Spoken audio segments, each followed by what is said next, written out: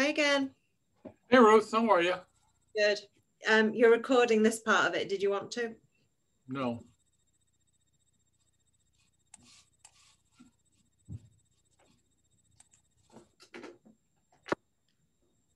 Are officially recording this meeting.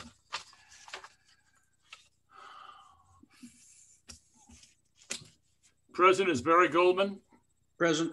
Ruth Townsend, Yeah. Dave Billings, Yes. and Ford Spalding. With that, the first order of business to approve the minutes. Now, I think I have two minutes to go. So February 15 is the first one. Accept the motion to approve. Motion. Is there a second? Second. Any discussion? All those in favor, we'll do the roll call. Barry Goldman, Aye. Ruth Townsend, Yeah. Dave Billings, Yes. Ford Spalding. The next one is the minutes of March 9. I'll accept the motion to approve. Motion. Is there a second? Second. Any discussion? All those in favor, Barry Goldman, Yes. Ruth Townsend, Yes. Dave Billings, Yes. Ford Spalding.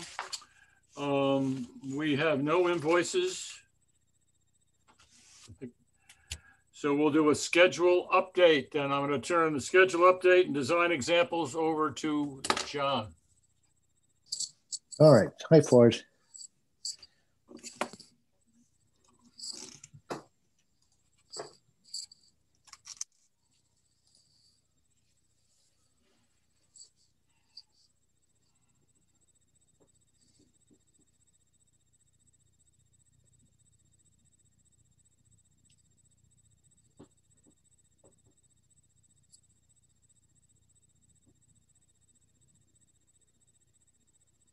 You frozen, John? No.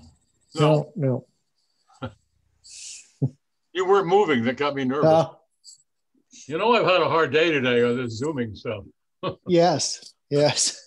Well, I, I, I, uh, I had trouble logging in, of course. So I,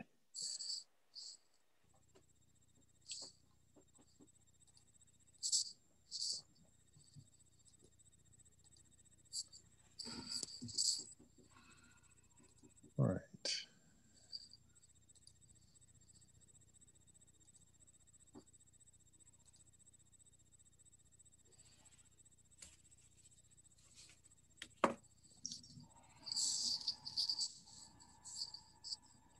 I just joined with my computer, for it so I can share the screen.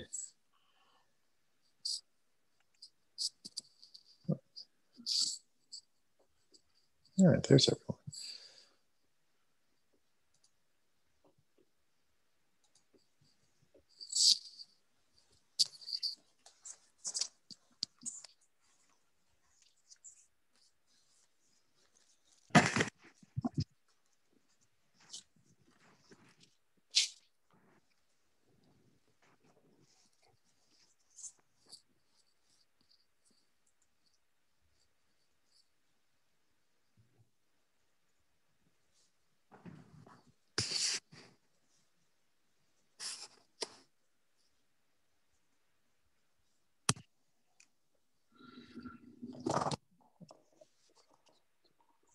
You want me to go to another agenda item while you're doing that? Oh, I, I'm set. Do you want me to? Are you ready to start, Ford? Or, or... Oh, yeah, the floor is yours. Oh, did I miss the calling the meeting to order? Sorry. Um, yeah, so uh, we'll start. We back up and get to full screen. Um, so I'll start off with just a bit about schedule, but I think Deborah's going to do the heavy lifting tonight. Um, tonight, our focus is on design. Uh, we've put that off for a while, so now it's finally time to talk about design. Uh, so we'll start with some precedent buildings and materials ideas, a little bit of Dover context, and then we'll show you our very initial concepts for, uh, we have two concepts for both options, for each option. So um,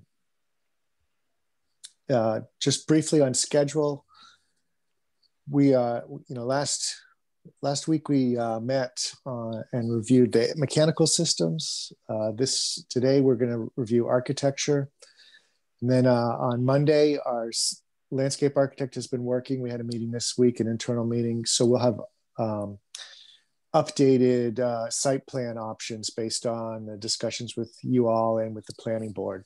So we'll have that for next Monday. And then on the 29th of March, we intend to come back to the topic of architecture and uh, we'll have updates based on feedback from tonight. Um, and just, uh, I think we've listed most of these meetings. What the one additional one is we met with our kitchen designer this week, including today, and he talked with uh, Janet at COA and, and, and Mark uh, of Parks and Rec just to make sure that we really understand uh, the needs of those two departments, and we're going to do our best to incorporate that into our into our space. Um, so that's kind of where we are with our meetings, uh, both for the building committee and internal. Uh, the goal is a cost estimating set uh, to be released on April 9th. Um, I take the balance of April to estimate that. We can make tweaks to the design and work on that during the same time. Um, and then we'll be ready to really uh, explain and promote this project in May for the lead up to uh, to a June town meeting vote. Any questions about that? Okay. With that, then I'm going to let Deborah take over. Okay, great. Good evening, everyone. It's good to see you all. Uh, so we're uh, going to go through, first of all, sort of our inspiration, some precedents, give you an idea of um, sort of the basis of our design thinking, and then go to what I'm going to call, um, it's like our cardboard model um, alternatives for the design. And you'll see when we get to them, um, I think they're better than cardboard models because cardboard models, I, I, have you all seen architectural cardboard models? They're sort of crude, they're very general. Um, and you set them up and see, you know, how they look in the context and stuff. You have cardboard models of the context like townhouse and, and some of the buildings on Whiting Road. Um, so I think the advantage we have here, having built these in Revit and they're three-dimensional and they're physical models is we can actually look at them at eye level. And so that's what we're going to be doing tonight with you, showing you a few different views of a number of alternatives um, uh, uh, for the two um, strategies, the renovation strategy and the new construction strategy. Um, so to start off, just to um, capture, you know, some of the, um, and also this, this hopefully is a conversation, it's not a presentation, you know, because really what we're looking for from you all is some feedback on sort of what you're seeing, what you, you know, what you, what are you not seeing, you know, what are you thinking about, what do you like, you know, what um, doesn't make, do you feel like doesn't make sense here or whatever. So, you know, I think that um, that's what we're hoping to have. So please um, interrupt me, raise your hand, you know, send a flare up Deborah, and uh, we'll stop. this Mhm. for, for now, let's, let's hold the, the discussion on this to the building committee um, and consultants if we could. Yep. Yeah, that makes sense. So um, maybe John, you, you can keep an eye out for for people um, raising their hands. So you'll Yeah. recognize all of these buildings. Um, they're in um, in the town center, uh, and they, you know, contribute to you know the the environment of the of the town center. And this, of course, the the Caryl School. One of our strategies is to keep um, that uh, section of the buildings. So first two alternatives we look at. Um, you see townhouse, uh, which is across the street, um, and the you know some of the other buildings around um, the town center. I think the library is um, the building that has a program that's most similar to a community to the community center. It's you know it's a it's a resource. It's a community resource. It's not like where you do business, town business. You know so so and and it's a really exquisite building. And um, you'll see there's a little bit of inspiration drawn from that with um, some of the alternatives. Um, there's a lot of brick in this context. Um, this that is something that we are um, all you'll see all of the schemes we're thinking of um, including brick, not necessarily the whole the whole building, the whole complex, but es essentially, you know, the Springdale side at least, you know, is would be using brick, maybe brick in a slightly different way than is used uh, in the existing building. It's always pretty impossible to match match brick you know, the, and the, the construction of the brick from 100 years ago, you know, the mortar joints are narrower and never quite looks the same. So we don't want a near miss kind of building. We'll, you, you know, so as we select the brick, uh, we will develop something that is um, compatible with it, is um, maybe using the same, you know, we use the same color, but we mix in, um, you know, a darker brick and a pattern that makes it distinct, but yet um, it really feels like it, it, it is married to um, this, the brick that we find in this context. Um, so um, now we look at material oats. Um, next slide is actually looking at it's um, looking at how to how to build uh, some inspiration uh, of buildings uh, that are additions to uh, existing um, brick buildings, historic brick buildings. Um, and we've got three examples here. There are, there are lots of examples, um, but these are, are three that feel somewhat relevant. It's slightly different scale. Some of these are slightly different scale, but seem somewhat relevant. The first one is at Harvard. It's in, in uh, Harvard Yard um, near the anthropology department. In fact, this is anthropology, the addition is the anthropology library, right, John? John went to. Yeah, well, that was his program when he was at Harvard. so you're familiar familiar with this building, um, but it is uh, so it, it's a rebuilding of the library. I think a lot of the structure was maintained, so the general footprint is there, but it, it is a building that is deferential to the exquisite, um, uh, you know, uh, original building you see on the on the left of that image, that top left image. Uh, and, and it's something, it's a building that's a little bit deferential. It doesn't, it doesn't have the symmetry. It's more like, um, you know, bookend to the existing building.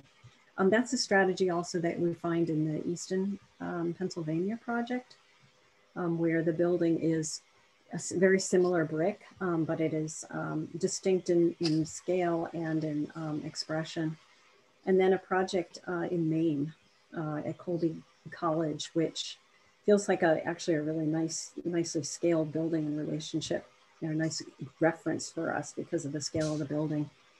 Um, and this one is, um, so if we go to the lower two images, those are the Colby College.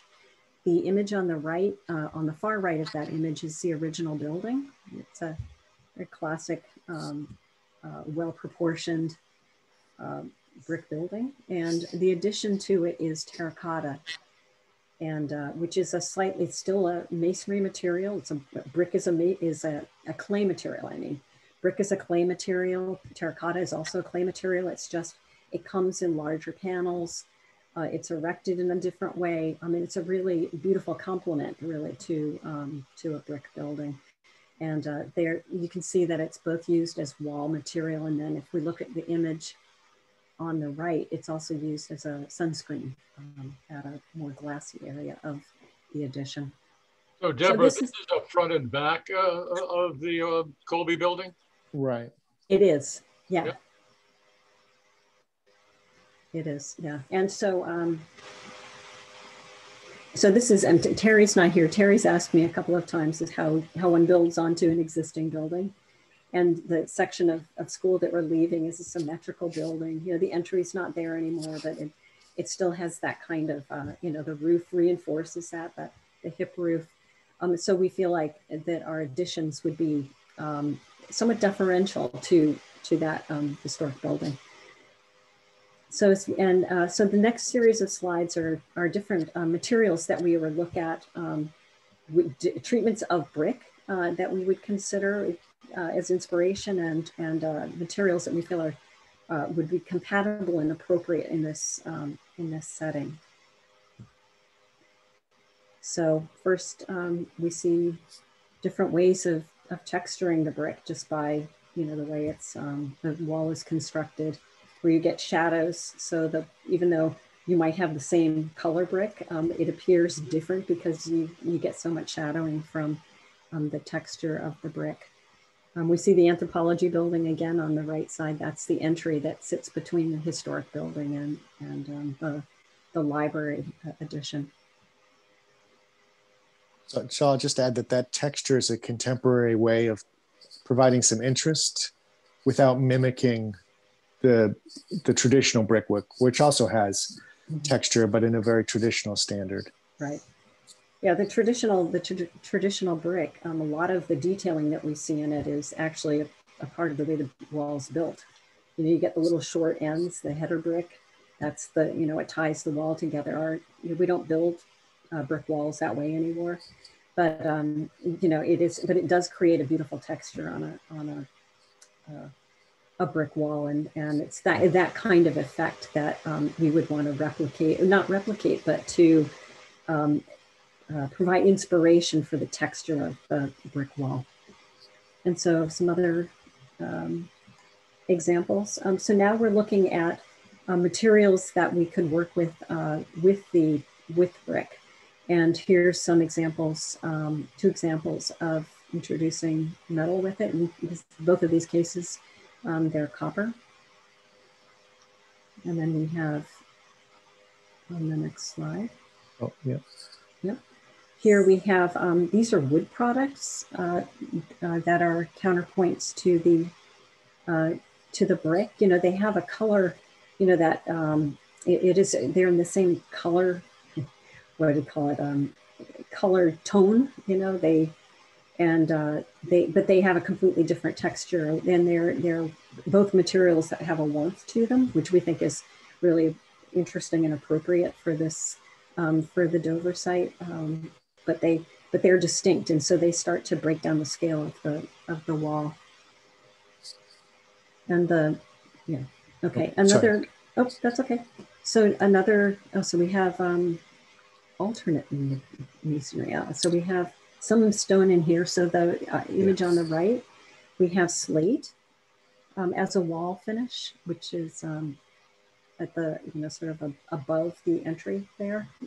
Um, the image in the middle is New York City. That is a, um, it is a panelized brick. So that is a brick that's actually um, embedded in a concrete panel and assembled, it's unitized and assembled I mean, it has this really beautiful depth to it. And you look at the overall building and, and it's quite, um, it gives it, even though those panels are all identical, the way they're arrayed on the building gives it a really beautiful texture. And this is a strategy that was um, uh, deployed in this situation because of the building that it's next to. Um, which is a beautiful, you know, beautifully detailed, but, you know, in, in a very different way. So next Next slide. Oh, any comments on anything that, that we're showing at this point?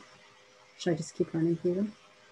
Um, here we have, um, oh, we're calling alternate wood.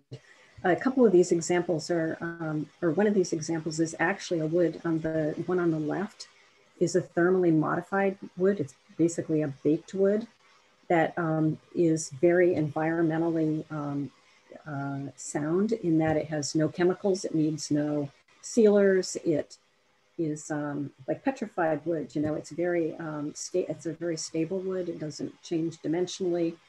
Um, you can get it in, in trees, you know, um, in this country, you know, so, it, you know, using trees like, that are readily available uh, and planted sustainably. So it's an interesting um, uh, option for either cladding. It can also be used as as floor material, floor material or decking um, that doesn't need any kind of sealer. Um, there's a, a, a similar uh, kind of product that John has used, um, which we see on the upper right, which is a PVDF. Um, so it's a film, it's a wood with a film on the outside to create right. a more stable product um, that's used uh, as looks like um, John, it's used as both the cladding and as the um, sun yeah. shading right. building. In that case, it is. Yep. And then on the bottom, we are we have a um, it's actually a cementitious product, um, a high density fiber cement which um, sort of evo- in this case evokes um, the feeling of wood. You can get this in colors that are very warm, you know, in the oranges, the beige, the oranges, um, terracotta color, um, but it's a very stable product and and a very you know easy product to use, uh, and a product is very durable, fireproof also.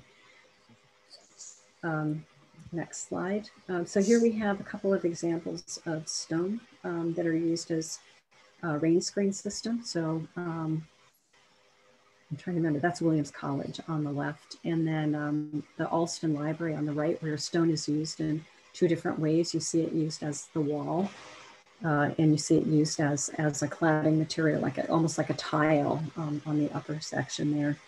And stone seems like, you know, it seems like it could be interesting to incorporate some stone, whether it's into the, you know, onto the building itself or whether it's used to create patios or retaining, you know, small retaining walls or something, because it is such a, a um, ubiquitous um, uh, material you find along the streets, um, in, along the roadways in, in Dover. And next um, is terracotta, uh, which is, which you saw that first example. Here we have a close-up um, with the historic building in the foreground and the terracotta building um, a little further down. This is the left image, terracotta panels. And then um, embedded terracotta, I included this if anyone has rented a car at Logan Airport. Um, this is a project that we did at Logan Airport. I was gonna say if people rented a car at Logan Airport at work at Logan Airport, but I see Luciana's not here right now. So um, she would have gotten that that um, comment. But so this is um, this is another example. And this is uh, a part of the. This is built on an edge of the airport, which is right opposite a historic um, East Boston neighborhood, where brick is a predominant material. And um, it was well received. You know, the verticality of the panels. It's almost like, um, you know, sort of the the uh, row houses that you see in, in parts of the neighborhood proportion in terms of proportions. Um, so I think that is the end of our Yeah. material section and curious if you have any reactions to what we're showing or um, if you, you know, have any other thoughts of products that we could look at or materials that we could look at.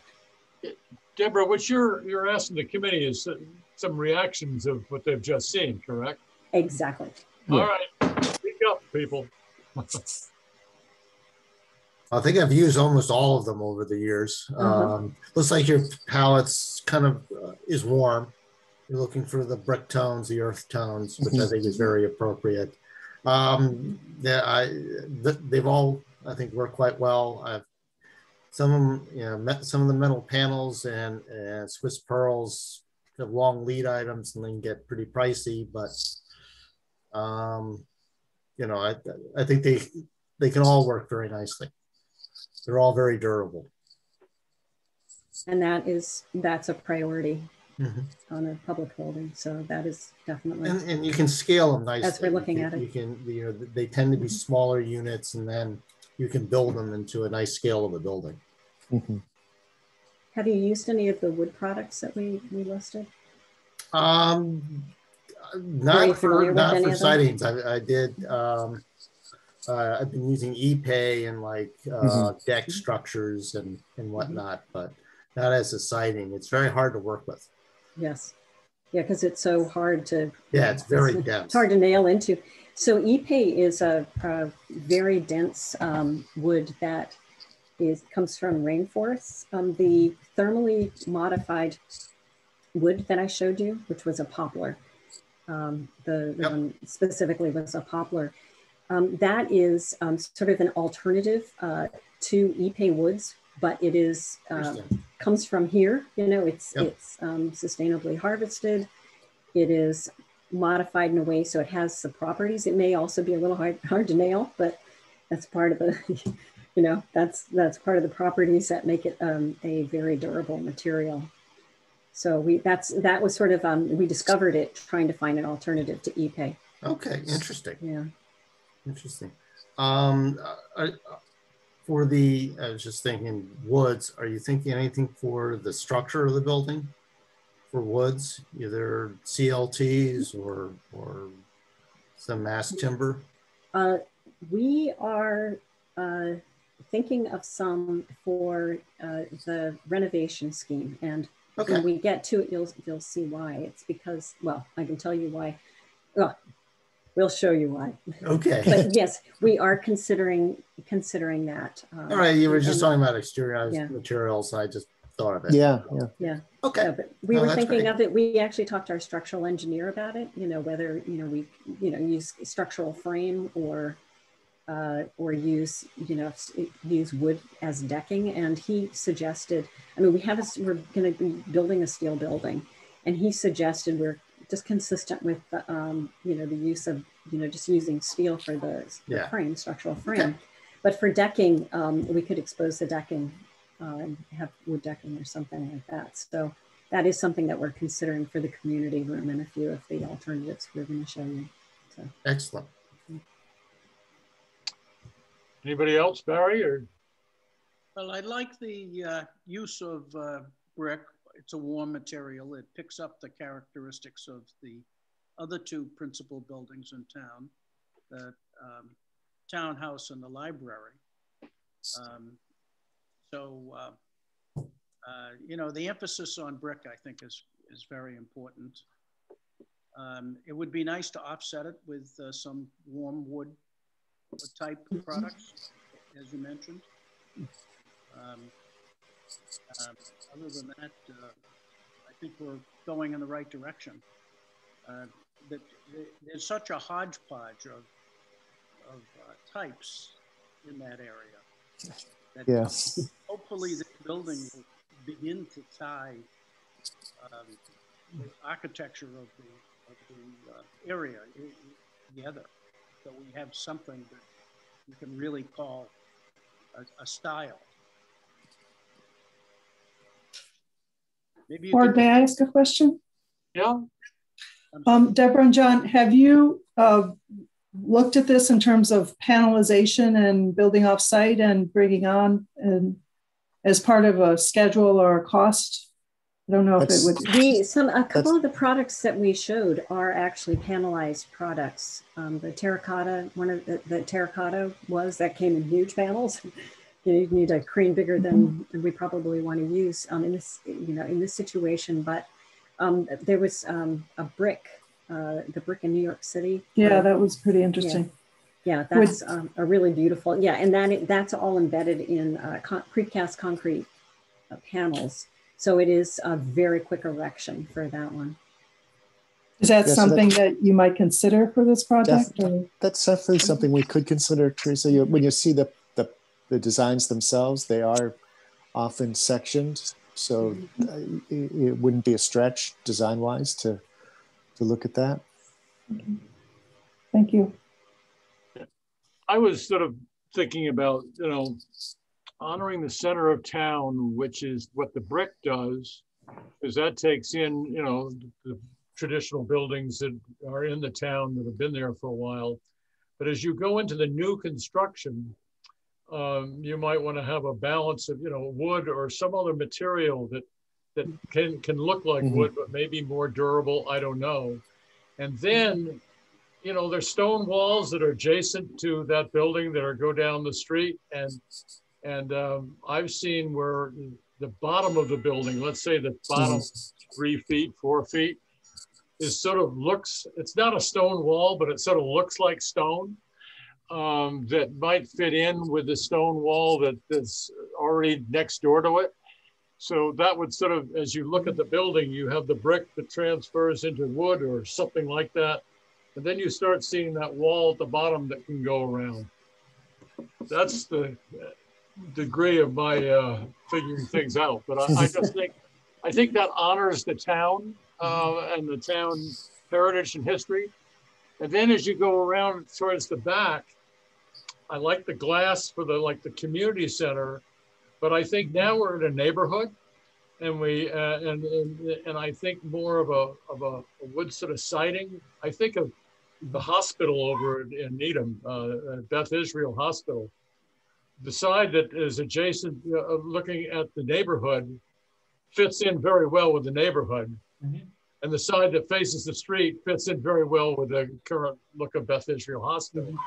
So, you know, they honor the neighborhood as well as, uh, as the current building. That's sort of what I'm thinking about.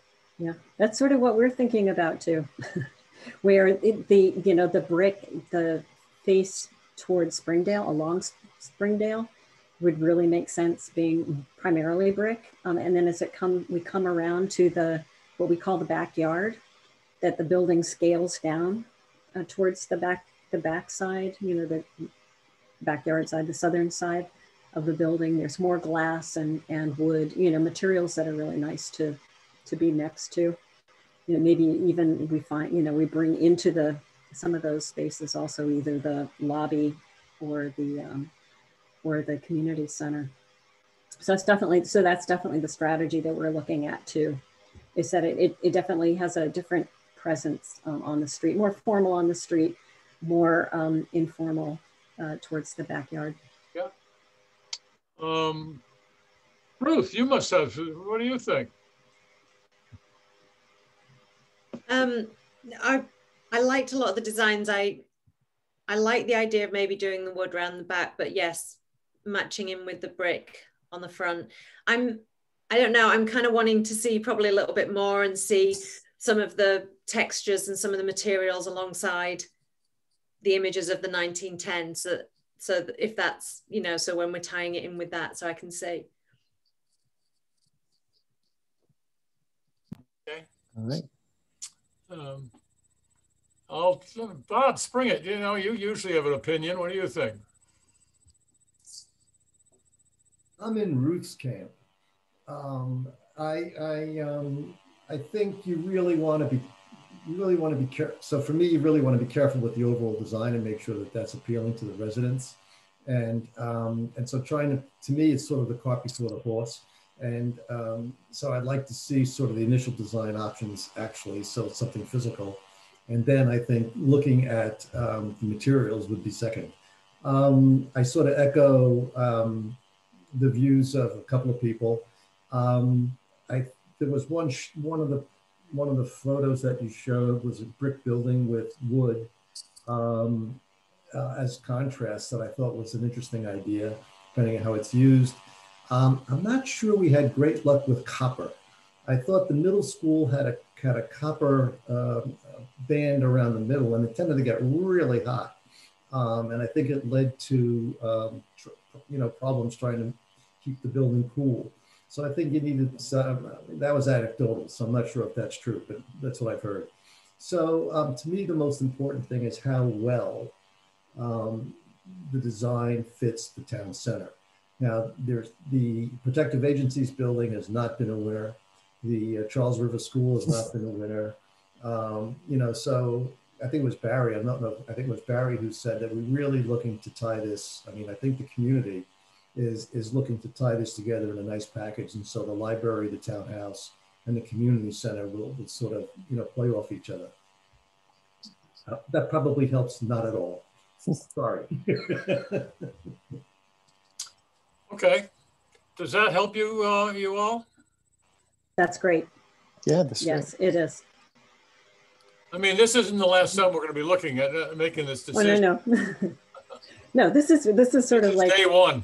Yeah, this is like we come along with the architect. You know, the you know we start thinking about the texture. You know, the material you use does inform how you approach the volume of the buildings. You know, we sort of work with you know sort of iterate through these these sorts of things, and we thought it would be good to show you, um, you know, it, sort of where we are with this iteration. You know, where we've collected a lot of mm-hmm. images and inspiration and things that we feel um, could make sense uh, in this context. And we don't have a lot of metal, um, Bob, to that point, as you know, we, there, the roofs, we, you know, one of the roofs you'll see we're considering. Um, but, you know, we were, uh, you know, looking at the palette that we ended up with, you know, it is definitely more towards the warmer materials. Yeah, so. I can, I can just add to what Bob was talking about in the middle school because I'm responsible for it to a degree. Um, the copper was uh, done mainly because it was less expensive than brick at the time. And the um, and believe it or not, the Globe said, "Oh no, you're wrong," and we had to show them the, uh, the you know how much it actually costs. But uh, that's why it was picked. And um, I, di- I was not aware that it had an effect on the, the heat in the building, but I think it turned out pretty well. Right. Did you, did you um, pre-patina it? So did you use it as the, the bright green color or did you? Well, when it went up, it it. wasn't bright green. It wasn't green at all. It was uh, gold or whatever. Then then Yeah. it changed and it aged. And I think it's it, it's aged well aesthetically from the outside. And It may not everybody that might not like it, but the real reason we did it, it was the cost figure at the time. You know, I experienced that too, Ford, at one point, you know, and people thought we were crazy and they, you know, everyone, every time you bring copper to a construction site, it gets stolen. And, you know, and, but it ended up being the cheapest material. It was the one that the, you know, the client wanted. And um, it ended up winning the day. Yeah. And, and it weathered, you know, maybe 10 years in, it um, weathered to green. And it lasts. I mean, it's, it's very It's durable. beautiful material. Yeah. Okay. All right. Right. So you want to the- see some initial, our initial thinking. So we're going to start off with the renovation and show you two general strategies. I think the first one, we actually have a couple of iterations of it. So John, so this is, Yeah. um, so this is the, um, uh, one of the renovations. So that means we are keeping the 1910 building, which you can see sort of in the, the background on this. If we look at the larger image, yeah, exactly townhouses um, on the right side across the street. And you can see some of the, you know, see the immediate neighbor also. Um, so this again is our cardboard model. Uh, and um, so it's looking at the volume of it. It's looking at, um, you know, the scale of it in relationship to other buildings. Um, and so this, this one is, um, so the, the, one of the things, one of the opportunities we see with the plan that has developed with the um, 1910 scheme, and maybe we should have had plans on this. The, Yeah. the major space, it, it isolates the community room, and the co- community room has nothing on top of it. So, as compared with the two story, which has this, you know, has a space on top of it, this one can take advantage of any kind of pitched roof. So, we've done that with this, and we're and the thought on, on um, a couple, both of these, the alternatives that you'll see is we treat it like a pavilion.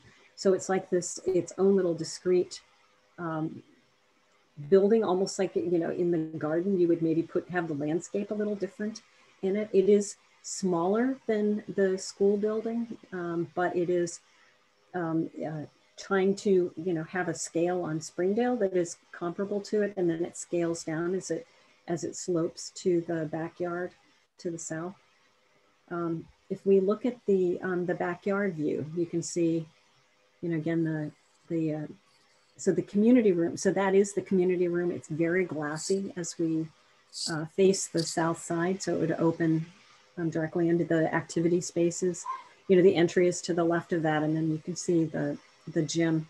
Um, we were thinking the gym in, in this alternative that we would um, uh, that we would plant. Uh, we could uh, plant a green wall on the lower part of the gym and have sort of panels of green, um, you know, the uh, the mesh that um, you can grow um, green uh, vines on basically and, and make it a green, you know, make it literally a, a green wall, but in a way that's safe, safe for the brick.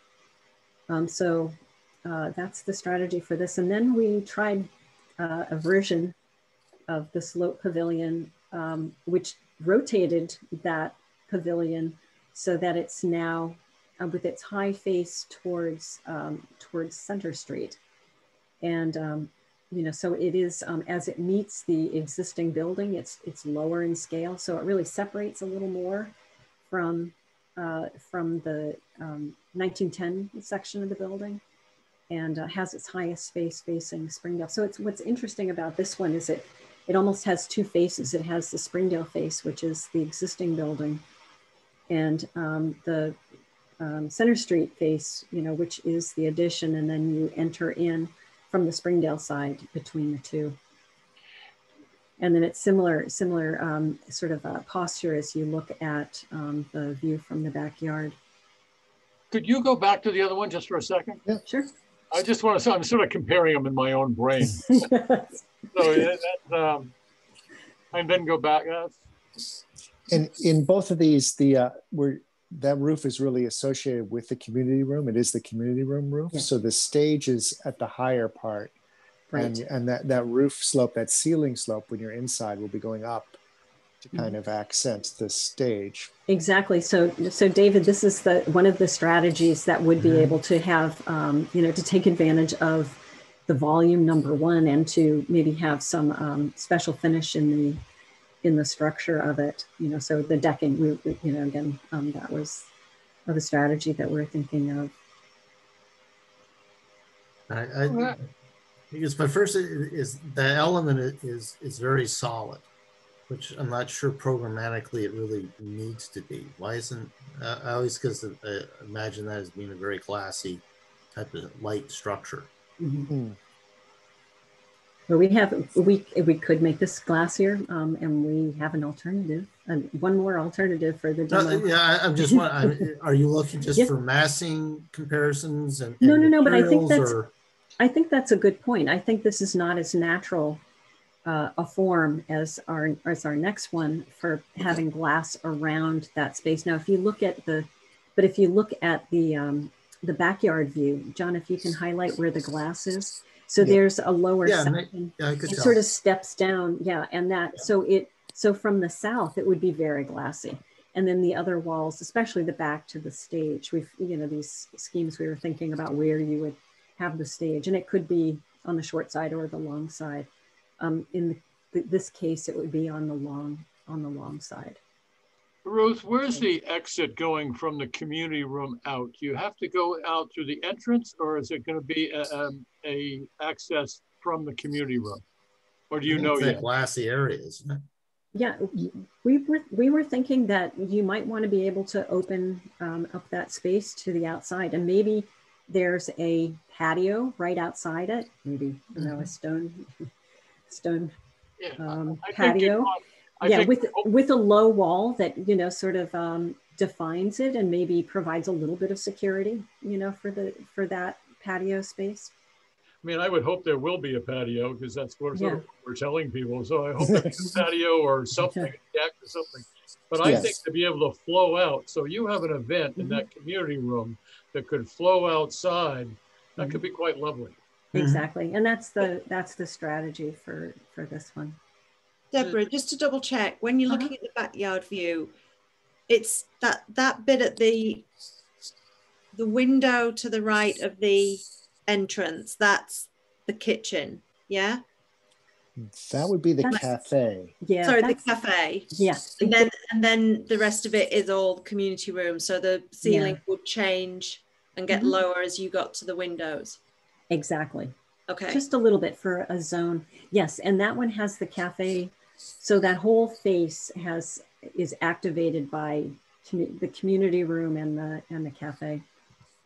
okay. Cool. Possible to make the um, pavilion more complementary to the 1910? Well, maybe we should look at the Certainly. next alternative. Okay. Okay, All right. so here we have um, the monitor roof uh, pavilion. This is the one that the strategy that's inspired by um, the library. Uh, and uh, it has, um, it's a little bit, uh, you can see it's it's got a longer slope as it gets closer to the um, to the main building. So it's it's sort of pulled away as much as possible. It's trying it's, it's trying to not mimic, but rather be sort of deferential to the um, to the um, school. But it you know has a very simple form. This one really I think reads like a pavilion even stronger because of the the hip roof we have here. The thought on this one is that it would that there would be a monitor at the top and light coming from above in this one. The other one had clerestory, you know, sort of light high along the wall. This one has it actually in the roof. And again, I think of, you know, a, a you know, ceiling that, you know, the ceiling could be, the decking of the ceiling could be wood for this one, you know, and really takes advantage of the form of the pavilion. And you can see we have an interior view of another project but um, you know it's sort of similar in in concept so i think it's a slightly larger scale but it's similar in concept to what we're trying to achieve with this one. Not that I didn't like the one before, but as soon as I saw this, I kind of felt like it was in my in my mind personally, it felt more Dover. Yeah, to me, it's Yeah. wow. I, I, I think it's um, I I think it fits beautifully. And if you think of the other buildings that we're keying ourselves in on, um, I don't know. And If this somebody one, says, Ford, you don't pick paint, and you don't design this, and you don't do that, but I do like this look. yeah. We, and I think this one, the north side, the Springdale side at the pavilion could be very glassy, David. So to your, to your question, Yeah. so that it really reads a little more like a pavilion. You know, this one Mhm. could almost feel like it's got four really heavy legs holding up that roof. Mhm. and um, and be glassy or panel, you know, or, or like a panel set in so that it, it reads um, it, it reads like it's supporting that roof and the roof would be very Yeah. present. And this one we were thinking might be might be a metal roof, you know, to make again to make it distinct but um, compatible with um, the school the school building. Yeah. Depends if Ford could get us a good price on copper. Yes, yes. Oh, those days are gone. I hope you save some of that. Yeah. Um, but you know, and I like the, the back of it. I think that flow with the, you know, the way you have the windows there and on the slope. I, I think, I think for a neighbor like Dave Billings, he might like that. I, I also wanted to say and meant to say on the last one, I love the idea of the green wall. I think I think that would be so lovely to in keep with the um, with the rest of Dover and the green spaces, and also Yeah. for the butters that it's not all full on Mhm. brick that they're looking at. exactly. And that, that's say- great is that feedback. Mhm. Is that a colored green wall or is it an No. ivy? Well, It- it's just going to be a trellis. Yeah, Exactly. maybe with ivy on it or something. Yeah. Exactly. Some, But yeah. it- I, I think the way that I'm viewing it, Deborah, is that I've seen these in architecture in in houses in London actually more where they've put them into a small space. It's almost like a greenhouse type effect, and it fills the whole wall, and it's plants that are put in there rather than necessarily just things growing up. Is that right? It's a living wall. Yeah. It can be, it could be either one. I know in, we don't see those as much in this country, but I know in Europe, you know, I can There- visualize a number of places where, yeah, where there are green walls that There's are, one at the Museum as of you Science. just, yeah, as you describe it, where it's, um, where there's different plants that are grown into it. I, I think um, that might be a more expensive um, scenario, you know, higher maintenance, more expensive. Okay, But, I need to be quiet then. but we could certainly look at it. Now I'm really putting a green wall inside too, but uh, Deborah, when I when I think of, I'm calling it ivy, whether it's ivy or not, but it, it tends to dig into brick and it tends to dig into wood and all that. So it, it is a maintenance issue, isn't it? That's why that's why the idea is that you put it in. There's actually um, it's like a, a a wire cage that sits in Mhm. front of the wall, and it actually you know it- and you select vines um, uh, that twining vines you know that climb up that you know so they're not digging into the brick. I know 'cause I've lived in that kind of building in Cambridge, you know, and they're they really do destroy walls and they leave their little suckers all over the wall too. Um, no, the idea, you know, we could um, plant this with something that is not attached, literally attached to the wall. Okay. All right. Committee, anything else on this or? Yeah, I, I had a little bit of trouble with the curb up on the top of the roof. I, it, to me, it, it's a bit dated. curb Um, on top of the roof. Oh, you're talking mean about at the, at monitor the piece. monitor? the monitor. Yeah. Yeah. You know, we, It's, yeah. and also, well, I- I'd like to see if there's a more elegant or or or streamlined way of of doing it. Yeah, we were trying to do something actually, so this is definitely inspired by the library, you know, with the, the hip that comes to the chimney. You know, it's like yeah, the I know, chimney got, like the chimney got chopped off. and- Yeah, and but we can, but those chimneys always look very you know Disney-esque to me. And Yeah. do you have a heat issue with that, uh, the heating the room? I mean, you, in in the summer, the, I know it's air conditioned, but the sun's beating down on it. we will manage the sun. Is that that's the beauty? That's the beauty of south exposure is that you can have just simply overhangs or you know a few, yeah, a horizontal um, uh, sc- you know, screen that has some horizontal to it that keeps the sunlight out during the summer Oh. when you don't want the heat gain. And uh, it can let a little more in onto the floor in the winter where, where the heat gain is actually um, precious. So Okay. um, that, yeah. And then the north side, you, you wouldn't need to worry about. And I, I think it could be with this um, alternative also, um, the pavilion, just two more things I wanted to point out is that it is not out as close to Springdale as the school is. It's set back just because of where it needs to connect into the existing building or behind the existing building, south of, you know, so there is some space on the Springdale side. And we were thinking that that could be a great um, extension to the um, cafe, a place, you know, so an- another place that people could go and sit and or a place um, that connected to the COA area. You know, so that, you know, the COA could come freely in and out. So we were thinking of activating this to some extent with um, either, you know, um, places for people to sit or or something else, or even be able to open it out uh, in that direction also. Yeah, I, I like the idea. We've mentioned it today when we had our meeting um, with the tea and chat. Is you know being able to walk out, to be outside in the nice weather and having some nice chairs back there, and that's where instead of sitting in the cafe or or somebody, you'd be sitting outside, maybe on, on Yeah. a bench or something, and Mhm. being able to chat or even have a sa- you know, I'll meet you for a sandwich, and people bring a sandwich, and um, I, I think that would be very attractive. Yeah. Lots of different places for people to sit, like stone wall, you know, almost like seats that are made out of stone walls or something like that. Yeah. Can you do something to um, de-emphasize the roof a little more on the pavilion? Uh, When I look at the present 1971 building, it, all I think about is the roof. because that's the most Oh.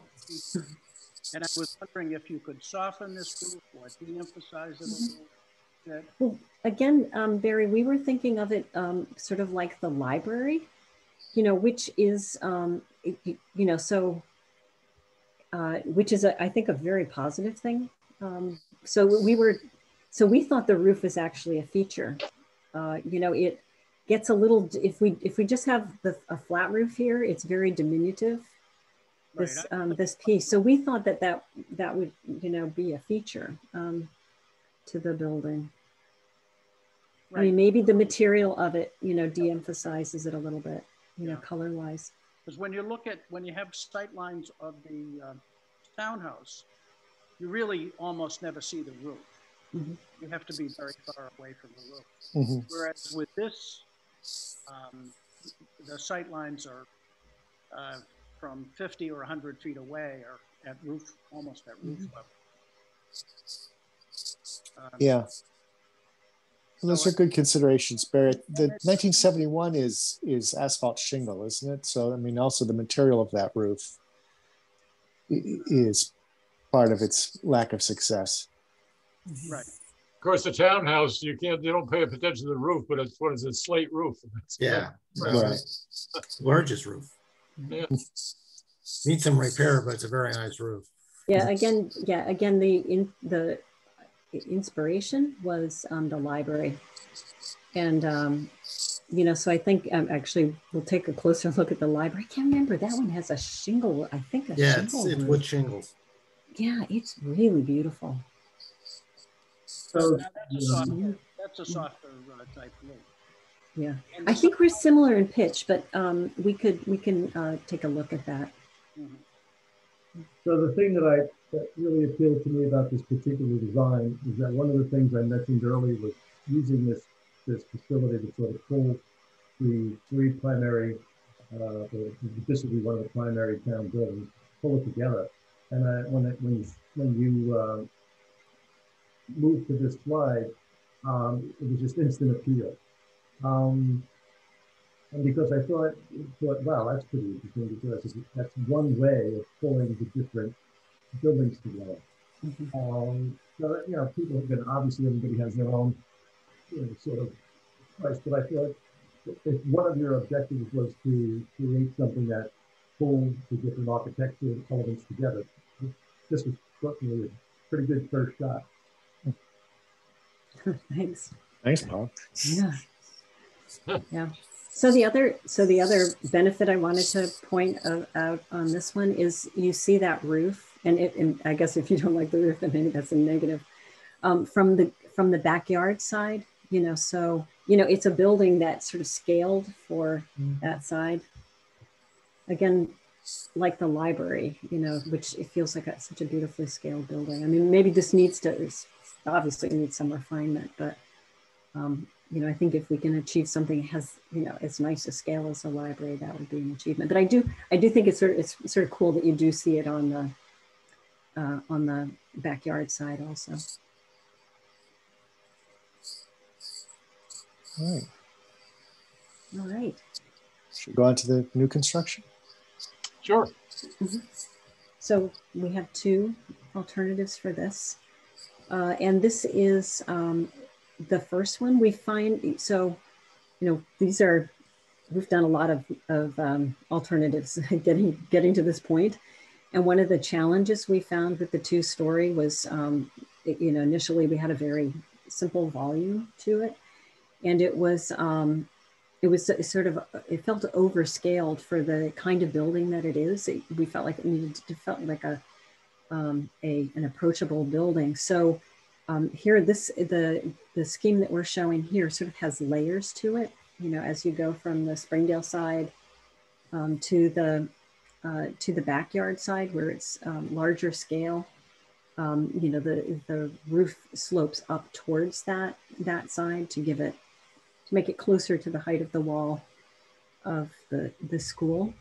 Um, and uh, this is again, we uh, in some locations we feel like we would take advantage of that slope roof because of the nature of the spaces that are in it. Um, for instance, we look at the northeast corner, um, the, the top right image, the far right corner of it. Um, you can see we have higher windows. We were thinking that's the that's the fitness. Um, I call it the movement studio, the dance studio, and that is a space that you know because this is north light could um, have higher windows and uh, take advantage and and have a um, a sloped ceiling to give it more volume. So, you know, the more volume you can have in a, in a movement space, you know, I think it's a more comfortable space um, to do that activity in. Um, and so this one, some of these spaces could actually open up to the roof and, and um, have, uh, you know, and take advantage of the volume that's created. And then if we look at the, um, the backyard side, the backyard view, you can see that there's um, a lot of glazing. Um, we have the, yeah, John's outlining the um, community, the community room. And then above it um, is an outdoor deck and um, behind it, the um, COA and on one side and then next to it is the flex, the flex space. So that would have the divisible room next to it, uh, all taking advantage of that south exposure and the view towards the um, uh, the open space, you know, behind the building, the activities happening there. So, talk about light, and, and I'm thinking of you, Janet. There's plenty of light in there. Janet, you might want to have a comment about that space if, if you'd like to. Um, interesting. Okay. There's also a, a, a, balcony, right, Deborah? You yeah, wanted to... Exactly. Yeah. Uh, not a usable balcony, or is it going to be usable? It could be. It could be usable. So, if you wanted to in the future, you could put a railing around there, and that could be a seating area. Mm -hmm. Yeah, or in or from the get go, it could be a, a yeah. seating a seating area. And if it's not all door going out to it, absolutely, yeah. So if you um, so you could have a door from the COA out onto that, and then the area outside the flex space could be also deck, or it could be it could be green roof. Also, it's a small area, and that could be a nice um, you know uh, treatment of that that um, portion of the roof. And if you had because, a depending on the railing, it mm -hmm. would mm-hmm. be break it up a little bit in the back. Mm -hmm. Yep. Yeah, and then this um, this one has a sort of a canopy along the whole face, the south face. Uh, including at the, um, yeah, exactly. And it could turn into a trellis as it, as it, you know, came in front of the, um, uh, the, the uh, rec space, you know, and then have, have vines growing on the trellis. Now, I'm thinking in the back, we're facing neighbors, and there's a could be a lot of light coming out of there. Now, from the second floor for the COA spot, there wouldn't be a lot of light because they wouldn't be working. Downstairs, you know, that's the other issue, but you can solve that with curtains and stuff like Mhm. that, right? Yep. Yep. Yeah. And depending on how dense the planting is between Yep. neighbors, yeah. Um, that So- might, it's, it's set back, you know, it's pretty far off of the, um, off of the rear line. Yeah, no, I agree. I, I think we'll want shades in the community room in all these options, Yes. both if not for nighttime, for daytime. Yeah. You know, depending on the activity that's occurring, you may need to shade it. When I look at the front of the building, I am looking at it from the northeast corner. Mhm. It looks like just sort of, a, uh, I, I suppose you could, it's sort of like a rectangular office building. I didn't mean to insult anybody, but I'm just thinking, you know, it's, but maybe that can be, it isn't all the same level. I can see that. Yeah, and it's, and here um, in the darker areas, um, those are the alternate material. So Yeah, yeah, it's yeah. like brick frame, you know, and it's, and it's somewhat playful also. And as I was describing, like at the, at the fitness studio, you know, it could have higher windows, you know, taking advantage of the volume and also at the main entry, um, the same, same thing. So, um, fitness studio is good- has very large windows, which is uh, a nice asset. Yeah. Well, I- I'm going to echo Ford. My first impression was not flattering. But now I'm, Bob, it's Too looking blind. better the more I see it. So I don't know. Did you clean your glasses? I mean, what happened? All right. okay, we have one more. We have one more, yeah. So we have a all flat roof. So this is a flat roof scheme. This the next one,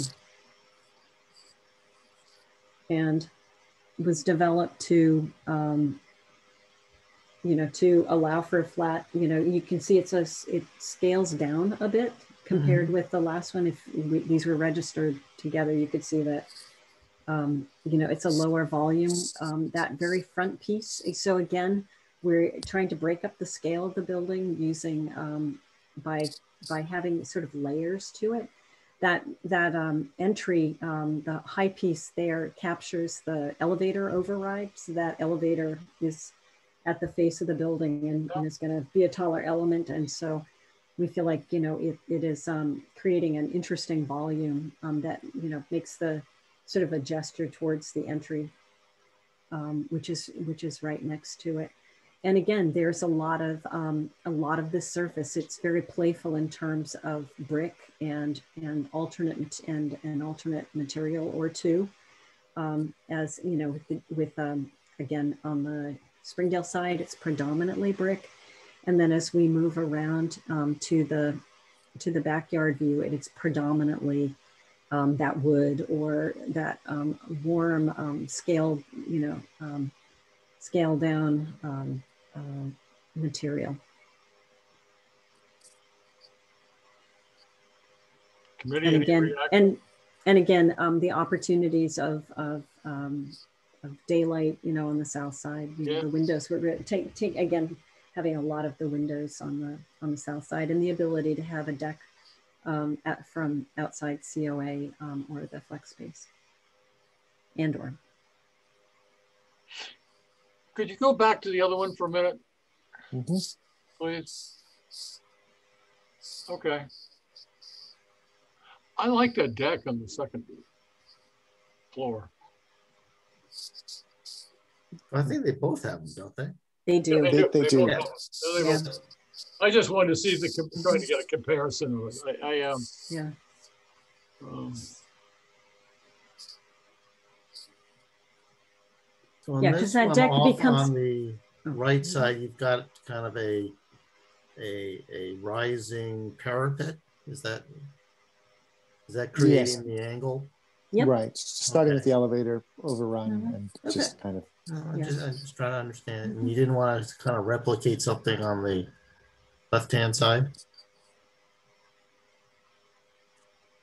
Uh, yeah, no, No, no, no, no, couldn't, couldn't without, it's just playing with yeah, it. we wanted to, we- Yeah. yeah, we wanted to, um, so this is a scheme that, um, is going to be, dare I say it, maybe more affordable than the one before. And, and we made Yes. thinking that way, dare I say that? too? Yeah, so we, and we, of course, we, we wanted to have an alternative that is, um, you know, is, is, uh, you know, taking that as, as, um, a, a driver of the alternative. It And sort of takes away, it takes away from the look of the other one that, you know, was sort of rectangular, I think. I think it's, it's our thing. Cam, you have your hand up. Has that been up the whole time or have I just? No, I just raised it uh, for what I didn't want to interfere.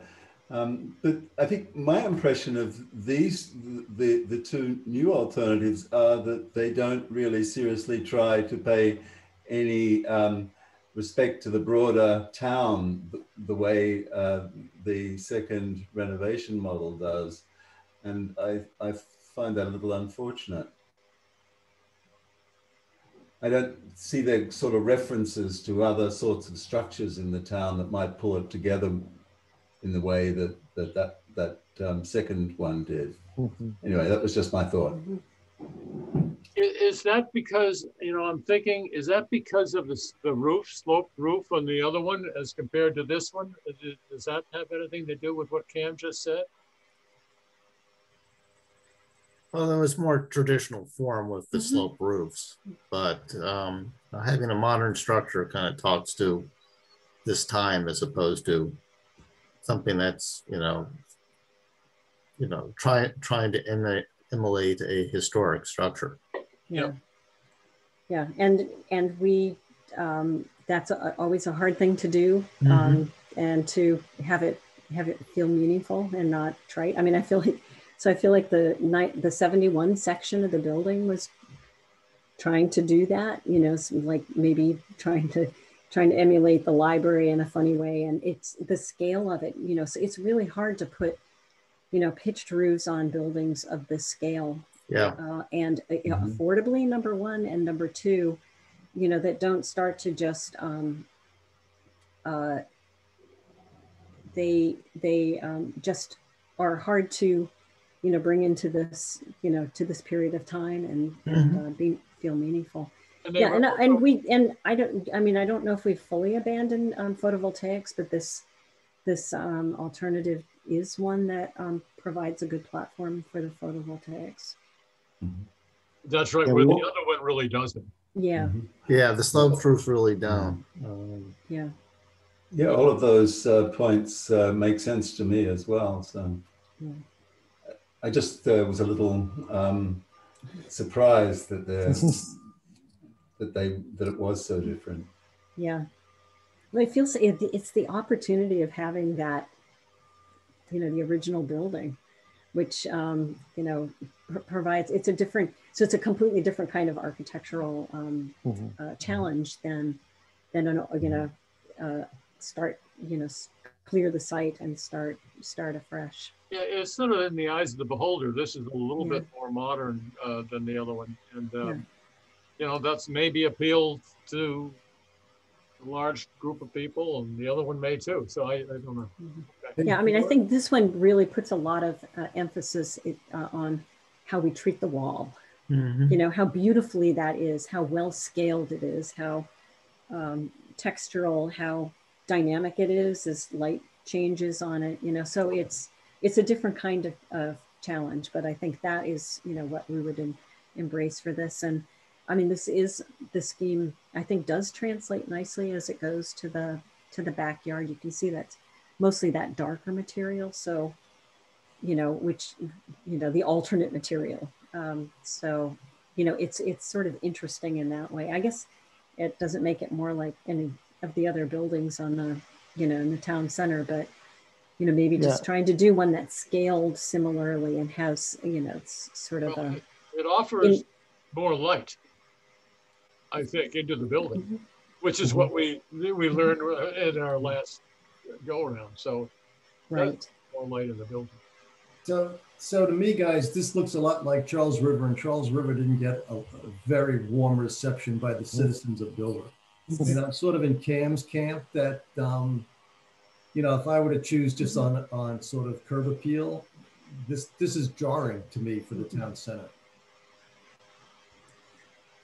So what? Um. So um, I don't disagree with you about the Charles River School, but I'm curious what um, you feel are the reasons that make it uh, alien to um, the town center. I, well, I mean, if you, if you if you think about the renovation option, that sort of fits very nicely in with the committee. It fits very nicely into the town center, and you're introducing something that feels way more modern than um, than um, the rest of the town center. And that's what happened with the Charles River School. Mm-hmm. Um, the Charles River School, you know, I mean, people just were beside themselves because how different that building looked to um, to their eye. Um, and I just see this the same way. Um, you know, I don't know what you can do. Um, I was certainly not expecting something um, in new that was again um, tended to modern, sort of a modern look. Mm-hmm. Well, it's all you know, sort of the eyes of the beholder stuff. I think Dave said that, mm-hmm. and that's certainly true. Or Ford may have said that. Mm-hmm. Yes, it's it's um, materially very distinct from you know everything else in the Charles River is Charles right. River, and yeah, we, I mean that's the know, one thing. Sorry. Yeah, no, no, say it. I was probably going to say the same thing.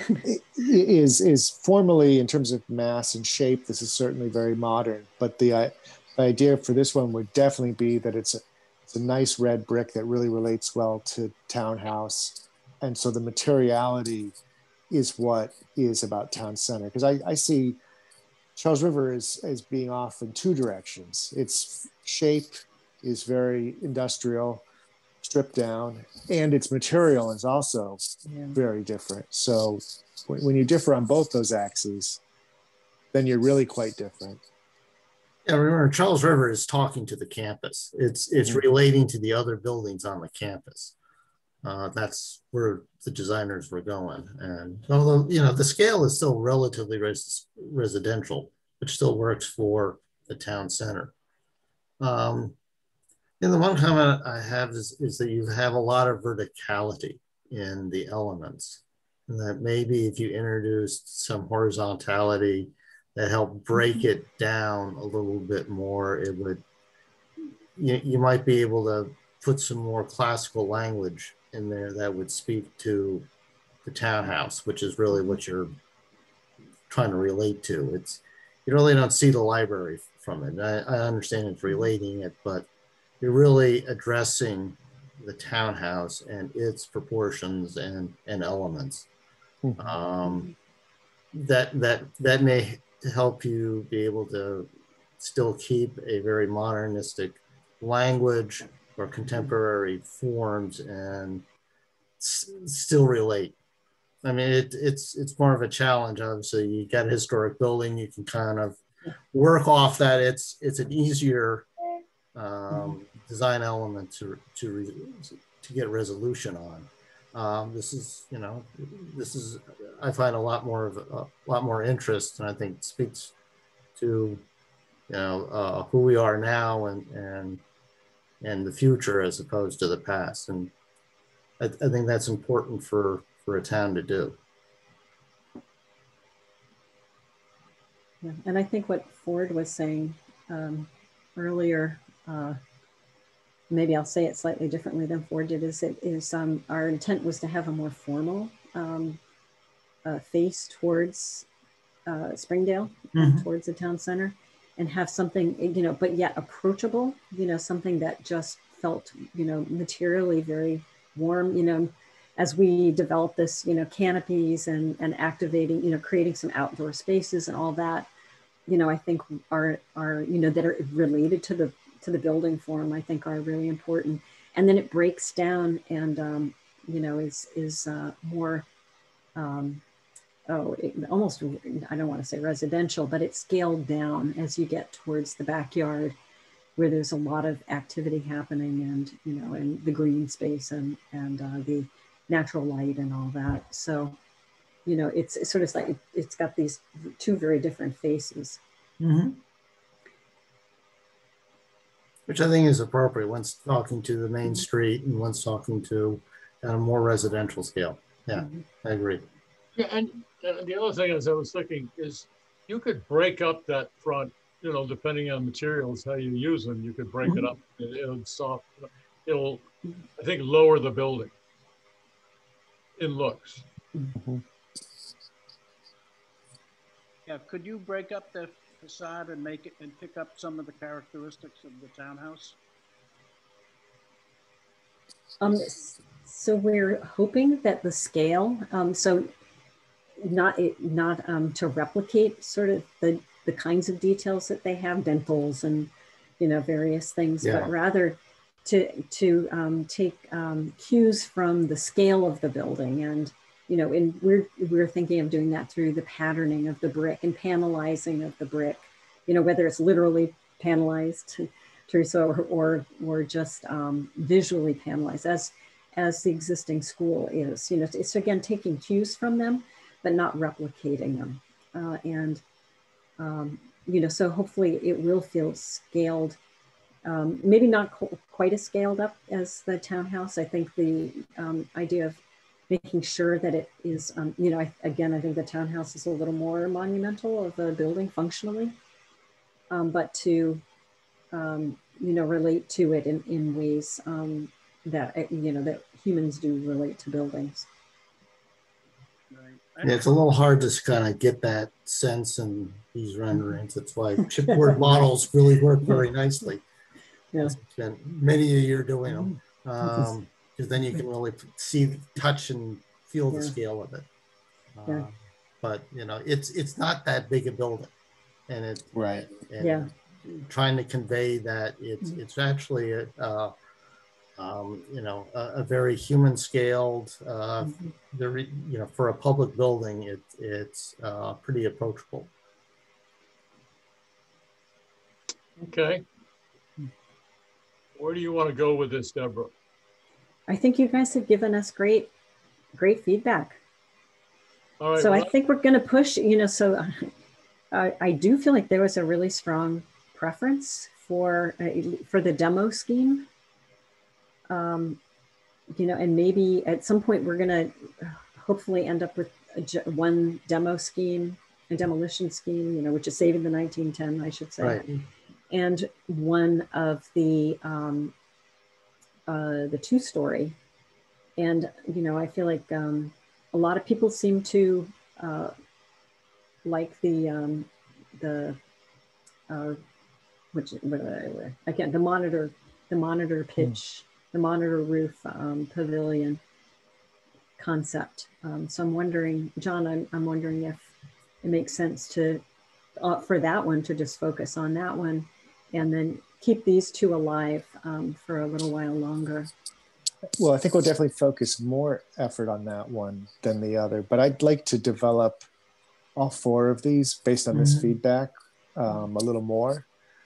Uh, and then I guess we can talk about how you want to make a selection. But yes, obviously we need to quickly Yeah, s- That's what choose a, a single reno and a, and a single new construction uh, for the purpose of our cost estimating set. But I think it'd be helpful if we develop these a little bit more, uh, try to incorporate some of this feedback, and and ultimately our goal though would be, just like with new versus reno, is is is to provide you at least two choices, two kind of different directions um, for each, and and then and then let let you all decide what what your preference is. Yeah, I, I think that- that, I think that makes sense and we have to do that Okay. fairly quickly, but I think, yeah, I think that makes sense. And I think also maybe when you're ready to get to that stage, um, it might be worth advertising this so we could have a little bit of ci- citizen input um, also. Uh, and and um,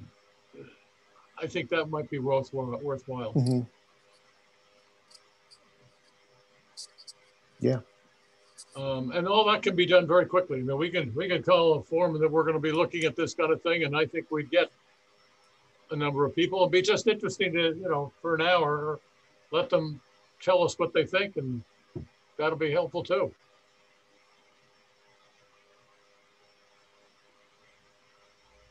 Yeah, I think we'll also be having conversation with our cost estimator about some of these materials, get a sense of, you know, whether some of the alternate materials are more expensive or less expensive than than brick. Um, you know, so we can start to, um, you know, hone in on something also that's uh, not going to need a lot of um, uh, a lot of changes um, once we get into the cost estimating mode. That, that's imperative because it has to be affordable, and that means it has to has to be in budget, whatever we do. So Yeah. Mhm. One of the things that uh, when you're combining brick with other materials, remember you're dealing with filed subbids.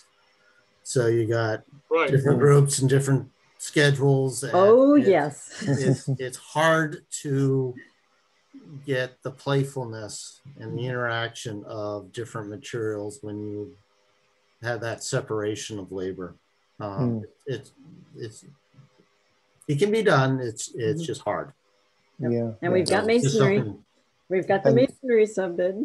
right? And you- you mentioned lead lead time too, Dave. So that that also factors into that. Yeah. So- Oh, yeah, you gotta, you know, take them all into, into account. So again, uh, uh, you know, we come back to you guys in terms of the schedule, and you tell us what makes sense, and we we will try, we will accommodate. All right. Well, I mean, we can have you know we could have two meetings in one week, and one of them could be just this focus for an hour. So that that kind of thing. Okay, Yeah. Well, that's what we had. So thank you. that's all you had, John. all right, let's um, uh, committee. Anything else on this, or uh, is what I said? Does that make sense? Yeah.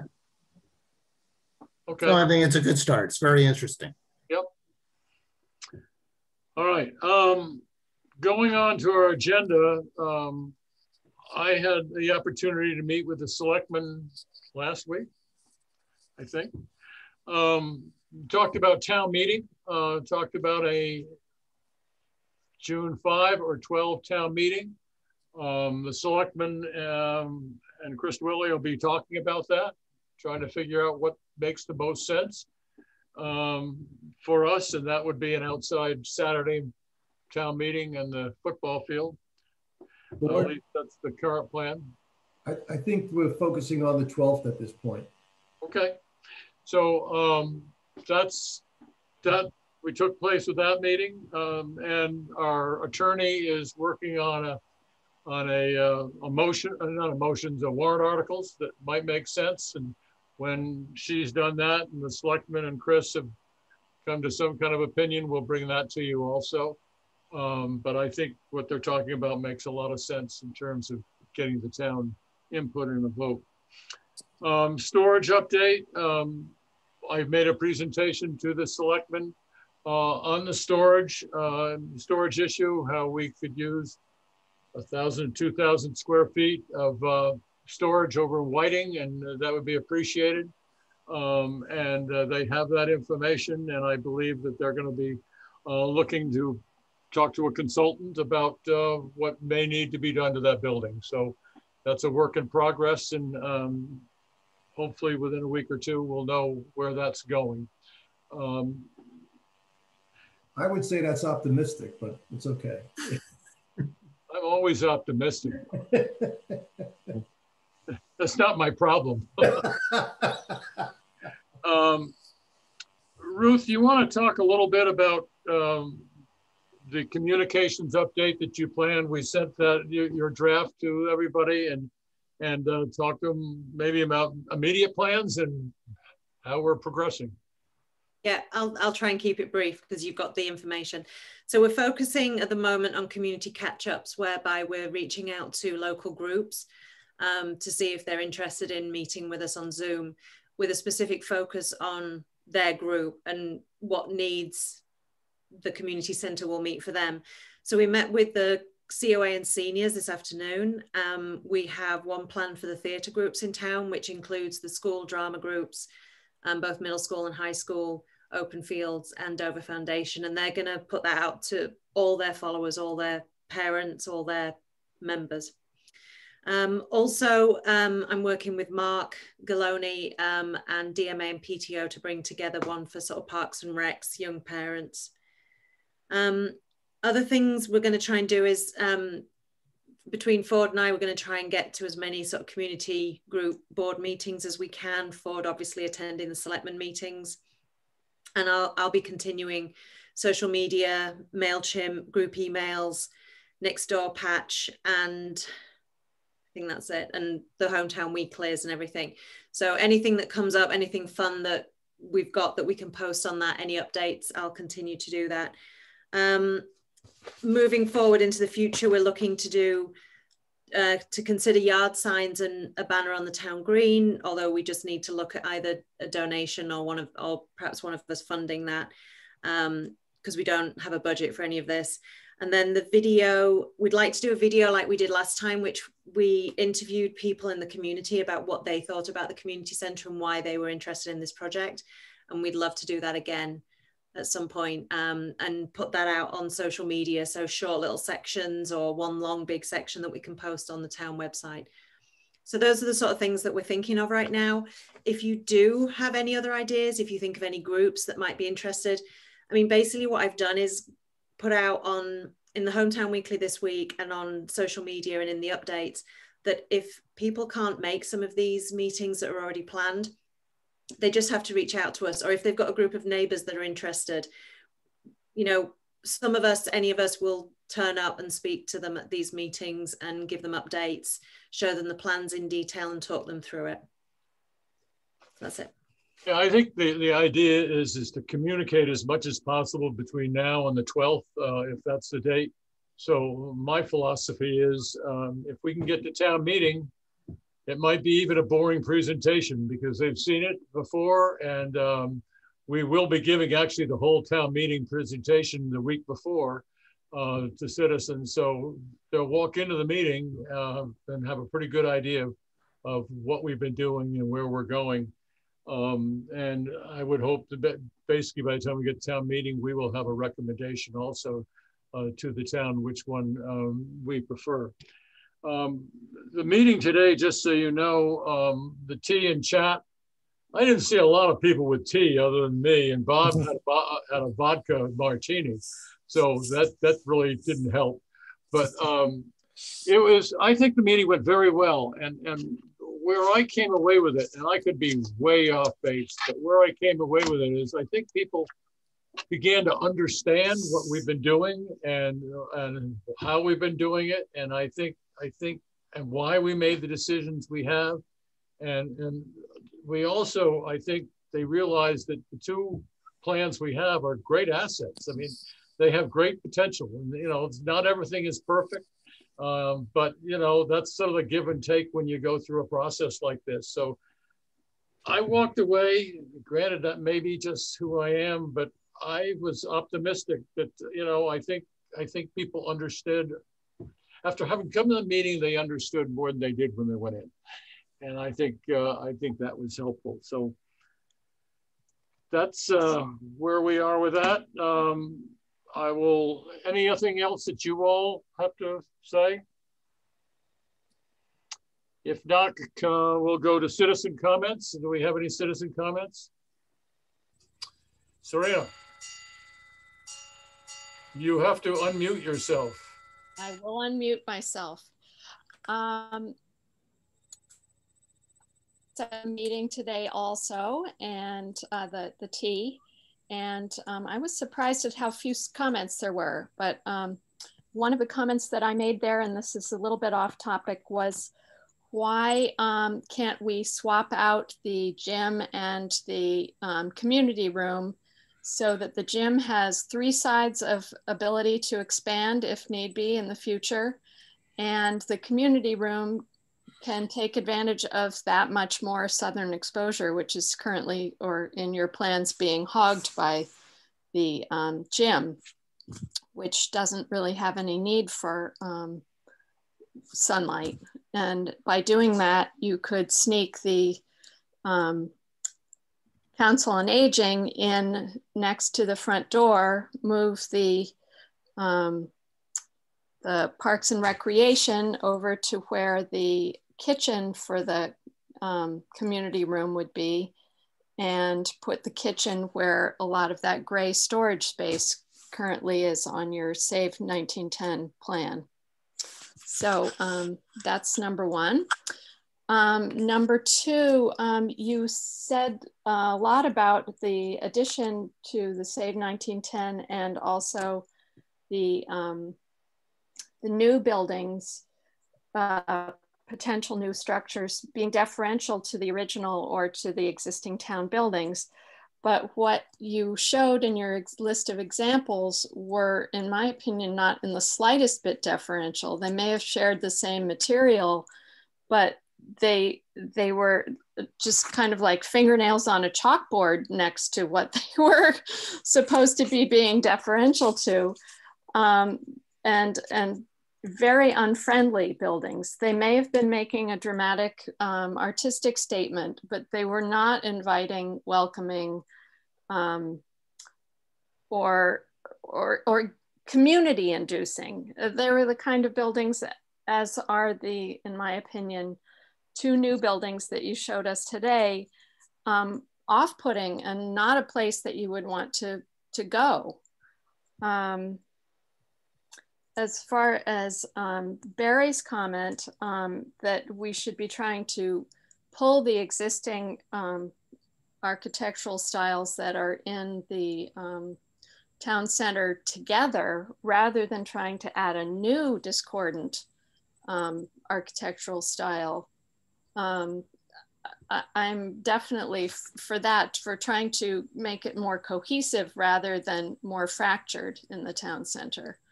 And I don't think that just using brick is enough to make that cohesiveness happen because um, it, it just isn't. um, in your initial um, Save 1910s, your, um, your community room mimics the public safety buildings, which we've all said were not a good idea from the get-go. So why would we go there again? That just seems like a, a very bad idea. Um, the, um, the second version of that pavilion um, uh, motif of the um, Save 1910. Um, it, would those sloped roofs be adequate for um, solar panels? I don't know. You, somebody who's an expert, please speak up. Maybe Cam knows.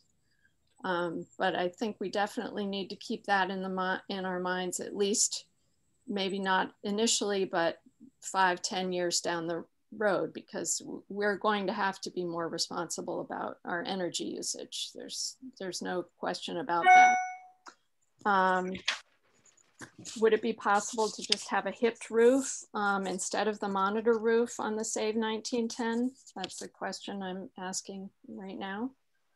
Um, hoping to get an answer.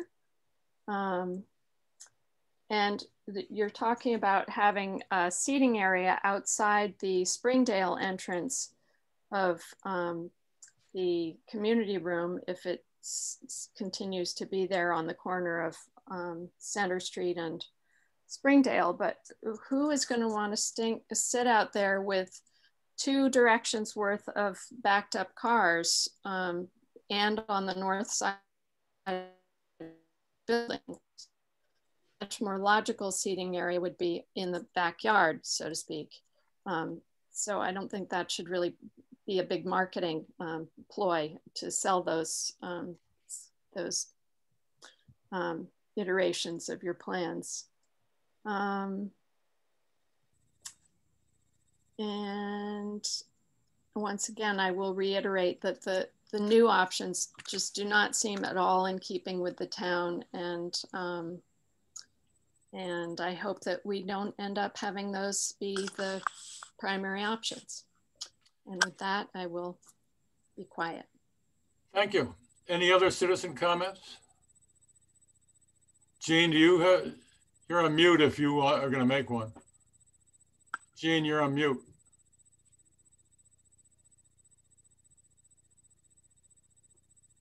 Still on mute. Okay, now you're okay. Okay, great.